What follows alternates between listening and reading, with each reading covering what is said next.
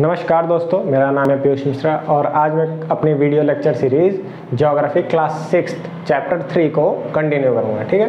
तो आइए चालू करते हैं। तो ये देखिए, आपको लग रहा होगा कि आप भारी सा मैंने क्या बना दिया, डायग्राम? तो सिक्स क्लास का बच्चा तो यही सोच रहा होगा, जो देखेगा कि भाई ये तो हमारे में है ही नहीं। तो मैं आपको बता दूँ कि खुशखबरी है और ये आपके बुक में है। कभी बुक को जब अच्छे से आप लोग देखोगे ना तो आपको थर्ड चैप्टर के सेकंड पेज पे मिल जाएगा ये। ठीक है? तो इसको समझना पड़ेगा। तो मैं आपको समझाता हूँ कि ये डायग्राम पूरा बताता क्या और इस डायग्राम को आप पढ़ लोगे ना तो आपको आगे जो लिखा हुआ है, वो पढ़ने की ज़रूरत नहीं पड़ेगी। ठीक है? अब देखिए, क्या है कि हमारी जो अर्थ है, वो इस तरह से मूव करती है। ठीक है? इस तरह से। ये एरो क्या बता रहे हैं कि अर्थ जो है, ऐसे मूव करती है। ये एरो बता रहे हैं आपके कि ये सनलाइट है। ठीक है? ये सनलाइट है। अब ये मत सोच लेना कि ये चारों अलग अलग अर्थ हैं। नहीं, ये चारों सेम ही अर्थ हैं, ठीक है? अभी इनकी पोजीशन अलग अलग है, ठीक है? ये यहाँ पे है, ये यहाँ पे है, ये यहाँ पे है, ये यहाँ पे है तो ऐसे घूम घूम के ये पहुँचते रहते चारों जगह, ठीक है? अब देखिए, पहले बात करते हैं समर सोलेस्टिक्स की। तो समर सोलेस्टिक्स किसको कहते हैं? तो 21 जून का जो टाइम होता है, वो आपको पता होगा कि हमारे मतलब अर्थ पे सबसे बड़ा दिन होता है और सबसे छोटी रात होती है, जो कि मोस्ट प्रोबेबली कल ही था। ठीक है? आज मैं रिकॉर्ड कर रहा हूँ 22 जून को तो ये हाँ कल ही था। ठीक है? इक्कीस जून को। तो आपने ध्यान दिया होगा कि क्या थी? उस दिन दिन बहुत बड़ा होता है और रात बहुत छोटी होती है। ठीक है? तो देखिए, अब क्या है कि ये अर्थ हमारी झुकी हुई है। इधर आपका पड़ेगा नॉर्दर्न हेमस्फेयर और यहाँ पे सदर्न हेमस्फेयर। तो अब देखिए, ये जो नॉर्दर्न हेमस्फेयर है, ये सन से क्या करेगा? ज़्यादा लाइट मिलेगी इसको, ठीक है? क्यों?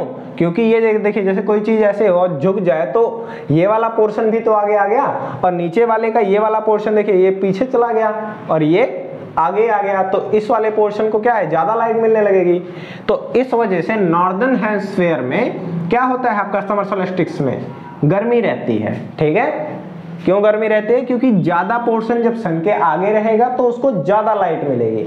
और एट द सेम टाइम आपका जो सदर्न हेमस्फेयर है, वो देखिए, ये झुका हुआ है। मतलब ये जो पोर्शन है सदन हेमस्फेयर का, मान लीजिए, मैं ऐसे लाइन खींचता हूँ तो ये वाला देखिए, ये जो पोर्शन है सदर्न हेमस्फेयर का, ये वाला।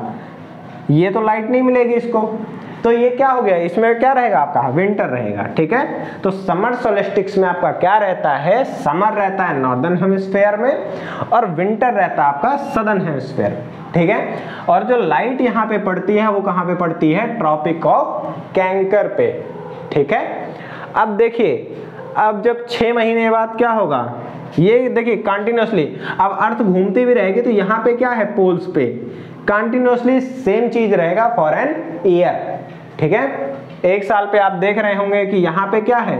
पूरी लाइट पड़ रही है, दिन और रात तो यहाँ पे हो रहे हैं, लेकिन यहाँ पे क्या है? नहीं हो रहा है ना? यहाँ पे एक ही चीज़ जो है, वो छह महीने के लिए आपकी कांस्टेंट बनी रहती है, ठीक है? कांस्टेंट मतलब जो चेंज ना हो। अब क्या है? और हाँ ये जो मैंने ये बना रखा है, ये और कुछ नहीं है, बस इस डायरेक्शन को बता रहा है कि अर्थ ऐसे घूम रही है, ठीक है? ऐसे रोटेट कर रही है। अब अगले आते हैं विंटर पे। तो देखिए विंटर सेमेस्टिक्स में आपका 22 दिसंबर लिया जाता है डेट अब क्या है कि इसमें देखिए, इसमें क्या था? नॉर्दर्न हेमिस्फेयर में ज़्यादा लाइट आ रही थी, ठीक है? तो जब नॉर्दर्न हेमिस्फेयर में ज़्यादा लाइट आ रही थी तो यहाँ गर्मी थी। लेकिन अब क्या है कि नॉर्दर्न हेमिस्फेयर इधर आ गया, ठीक है? नॉर्दर्न हेमिस्फेयर इधर आ गया और सदर्न हेमिस्फेयर अब सन के आगे आ गया है, ठीक है? ये सदर्न हेमिस्फेयर वाला पार्ट क्या है ज़्यादा? वो सन के आगे आ गया। तो अब इसको ज़्यादा लाइट मिल रही है और नॉर्दर्न मतलब सदर्न हेमिस्फेयर को ज़्यादा लाइट मिल रही है as compared to northern hemisphere. इसलिए अब आपका विंटर सोलेस्टिक्स में नॉर्दर्न हेमिस्फेयर में ठंडी रहती है और सदर्न हेमिस्फेयर में गर्मी रहती है, ठीक है? और यहाँ की जो कंडीशन है, वो भी चेंज हो जाती है, ठीक है? क्योंकि अब देखिए, यहाँ पहले क्या हो रहा था? इस पोल को, नॉर्थ पोल को कंटिन्यूसली छह महीने लाइट मिल रही थी। अब यहाँ पे क्या होगा? साउथ पोल को कंटिन्यूसली छह महीने के लिए लाइट मिलेगी आपकी, ठीक है? अब देखिए, यहाँ पे इस केस में विंटर के केस में जो लाइट फॉल करती है, वो कहाँ करती है? ट्रॉपिक ऑफ़ कैप्रिकॉन पे, ठीक है? तो कहाँ लाइट फॉल करेगी? ट्रॉपिक ऑफ़ कैप्रिकॉन पे। अब देखिए, ये दोनों जो बच गए, इनका क्या है? इनका ये है कि जब सनलाइट पड़ती है तो नॉर्मली क्या है? सारे पे बराबर पड़ती है। ठीक है? यहाँ पे भी और यहाँ पे भी। तो देखेंगे आप कि इसको कहा जाता है इक्विनॉक्स मतलब बराबर। ठीक है? लाइट ऐसा नहीं है कि कम ज़्यादा हो रही है, जैसे कि यहाँ पे आपकी हो रही थी। तो यहाँ पे देखिए, जब यहाँ पे जब क्या बोलते हैं, आपका 23 सितंबर वाले टाइम पे रहता है आपका अर्थ तो नॉर्दर्न हेमिस्फेयर में आपका क्या रहेगा? ऑटम सीज़न रहता है, ठीक है? और सदर्न हेमिस्फेयर में आपका क्या रहता है? स्प्रिंग रहता है। अब क्या है कि अर्थ जब घूमती है, फिर विंटर आता है, फिर जब यहाँ पे आ जाता है आपका वापस तो यहाँ पे देखिए क्या हो जाता है? ये स्विच हो गया। स्विच मतलब उल्टा हो गया। जहाँ पहले सदर्न हेमिस्फेयर में स्प्रिंग था, अब किसमें चला गया? नॉर्दर्न हेमिस्फेयर में। और जो ऑटम आपका नॉर्दर्न हेमिस्फेयर था, वो किसमें आ गया? सदर्न हेमिस्फेयर में।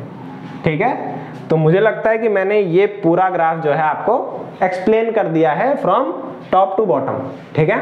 तो मैं अब इसके साथ अपनी वीडियो का एंड कर रहा हूँ और ये चैप्टर भी अब इस वीडियो के साथ खत्म हो गया है और इसमें कुछ भी नहीं है इस चैप्टर में। अलग से। ठीक है, जो आपको पढ़ना पड़े।